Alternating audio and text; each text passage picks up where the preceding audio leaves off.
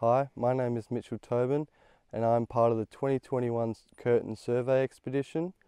The first part of my job was to re-establish the horizontal positioning of mileposts along the rabbit-proof fence and more specifically the number one fence.